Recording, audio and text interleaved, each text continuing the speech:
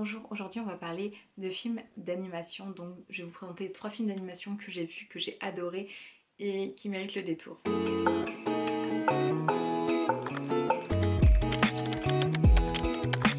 Du coup, je vais vous présenter deux films d'animation original et un film dérivé d'un manga. peut se regarder sans avoir regardé l'animé et sans lire le manga. Du coup, on va commencer avec celui-ci, c'est Jujutsu Kaisen 0. Dans Jujutsu Kaisen 0, en fait, on va suivre l'histoire de Yuta. Yuta, c'est un jeune garçon qui a une malédiction euh, qui pèse sur lui. En fait, il est euh, hanté par Rika. En fait, c'est un démon de classe S. Et en fait, quand on veut faire du mal à Yuta, Rika arrive et défonce tout, on va dire.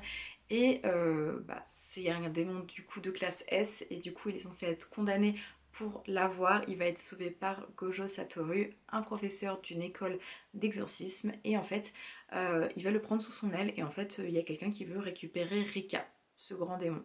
Du coup, on va le suivre, lui, avancer dans cette école, euh, apprendre à contrôler en fait bah, ce démon, etc., se battre, euh, devenir exorciste, en fait, tout simplement.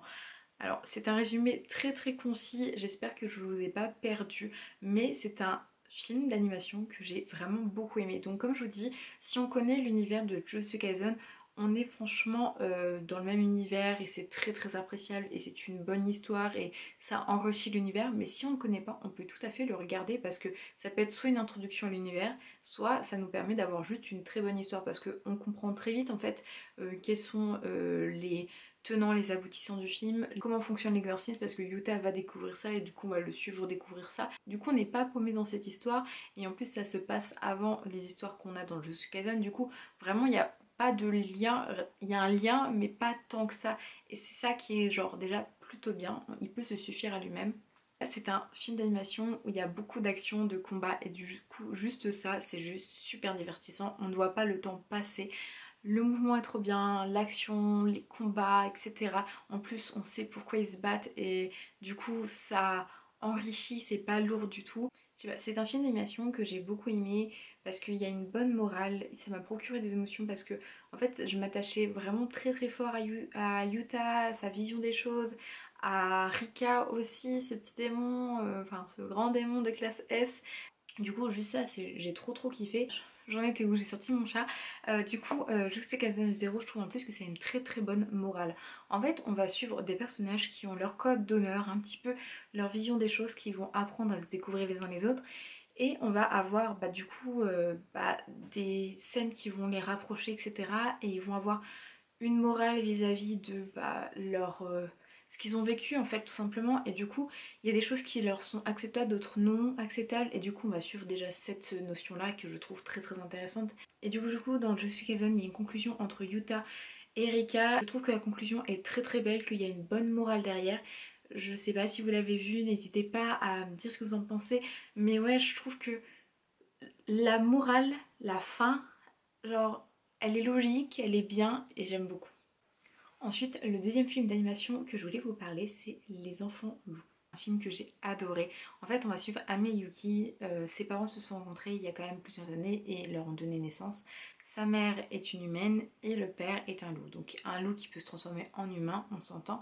Et malheureusement, un jour, le père va disparaître et ils vont se retrancher dans la campagne où euh, bah, Anna va devoir élever seule ses deux enfants, euh, mi-homme, mi-loup. Elle va devoir apprendre à les éduquer seuls, euh, ils vont s'adapter bah, dans la campagne, ils vont essayer de garder le secret et en même temps ils vont avoir leur comportement et on va voir un petit peu bah, comment ils vont évoluer avec leur comportement et un petit peu choisir un petit peu euh, quelle va être leur identité. Alors c'est un film qui m'avait vraiment beaucoup touché à l'époque et, et du coup pour faire cette vidéo je l'ai revu. Le fait de le revoir, j'ai repleuré de nouveau, j'ai re-été touchée. Je me suis rendu compte qu'il y avait plus de nuances que ce que je pensais, ce que j'avais écrit au préalable. Déjà, je trouve qu'il y a une grande notion de l'acceptation de soi. Parce qu'en fait, on va suivre du coup Ami et Yuki qui ont cette part humaine, cette part canine en elles et qui vont devoir un petit peu trouver le juste milieu et devoir accepter en fait le soi, euh, être devant les autres, pouvoir un peu euh, savoir où mettre leur confiance, etc. etc. Et juste ça, je trouve que c'est super intéressant. Ensuite, il y a aussi cette notion de changement et de développement parce que à l'origine, quand ils étaient petits, ils, agissaient d'une certaine manière et en grandissant, le rôle, leur rôle s'inverse un peu et en fait, ils vont parfois renier une partie d'eux-mêmes, parfois l'intégrer, etc. Et je trouve qu'il y a une réelle évolution des personnages, et en tout cas de l'enfance à l'adolescence, il y a une réelle évolution et on continue à les suivre et ça juste c'est trop bien. Et il y a aussi euh, la notion du parent avec l'enfant. Donc Anna, elle va élever seule ses deux enfants, elle va avoir des remarques, elle va devoir jongler avec son rôle de parent, son rôle de protectrice du secret, etc. etc. Et on la suit dans ça, dans ses doutes, dans ses colères. Et juste, c'est ultra intéressant. Je trouve que Ami, Yuki, Anna, cette histoire, ce film apporte beaucoup beaucoup de choses et a plein de très très belles morales sur, comme je vous ai dit, l'acceptation de soi, sur l'évolution, sur euh, l'éducation, sur beaucoup beaucoup de choses. Et c'est un film qui m'a réellement touchée et je trouve que l'histoire est simple, efficace. On parle d'un postulat juste de deux enfants qui ont des secrets, qui vont grandir avec leur mère. Et, et juste, c'est trop bien, j'ai pas les mots. Je vous conseille mille fois si vous connaissez pas ce film d'aller y jeter un oeil. Ensuite, il y a Marie et la fleur de la sorcière. Alors, c'est un film euh, qui peut faire penser au Studio Ghibli, mais c'en est pas. Mais c'est par contre quelqu'un qui a déjà travaillé au Studio Ghibli qui a fait ce film.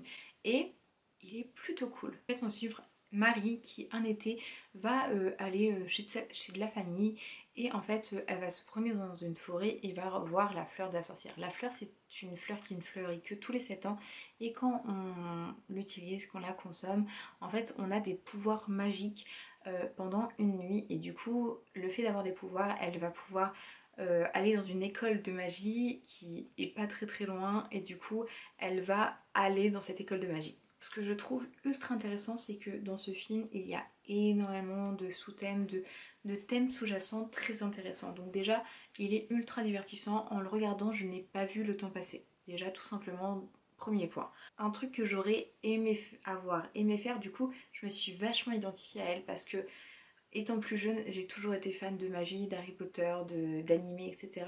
Et j'ai toujours voulu que mon quotidien euh, change un petit peu et que j'ai pu avoir de pouvoirs magiques et aller à Poudlard ou des trucs comme ça. Enfin, un jour découvrir que je suis une fée.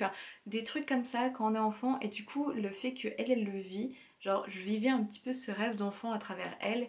Et on se rend compte que c'est pas tout rose non plus parce qu'il y a cette notion euh, d'acceptation de soi, de se renier, etc. Parce que du coup, elle va se faire passer pour quelqu'un qu'elle n'est pas.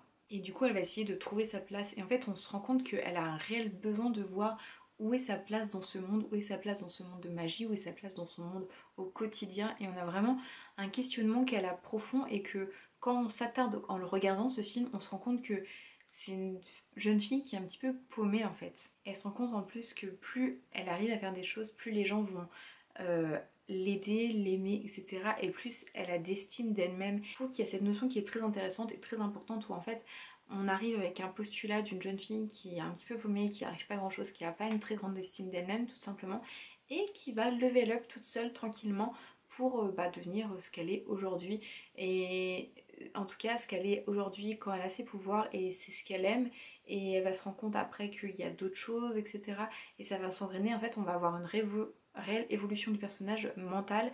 Et c'est cool parce qu'au final ça se passe en un temps très très court parce qu'au final ça se passe sur une nuit en fait.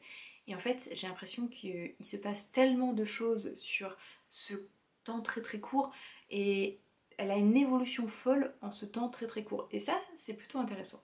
Du coup j'espère que ma petite section vous a plu. Je pense qu'au final c'est une vidéo très très courte parce que je me suis pas tant attardée que ça parce que j'avais peur en fait de vous spoiler tout simplement. J'ai pas envie euh, de vous spoiler sur ces films parce que c'est des films que j'aime beaucoup et que je trouve qui apportent un réel quelque chose quand on les regarde, en tout cas qui sont très divertissants. Si vous les regardez, bah parce que je vous les ai conseillés, n'hésitez pas à m'envoyer un DM sur Insta ou à me le mettre en commentaire parce que je serais trop contente un peu de voir euh, bah, si ce que je vous propose, ce que je vous présente bah, vous plaît tout simplement.